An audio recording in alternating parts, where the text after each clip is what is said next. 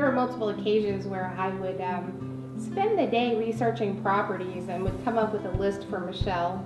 And sometimes that list was, you know, five or six homes. And she always accommodated us. So, and if she couldn't do it herself, she made sure that one of her team members were actually there to show us the property because, you know, we were selling and buying all at the same time. So, What I was amazed by Michelle is how fast she sold the property, how many people she got to the property.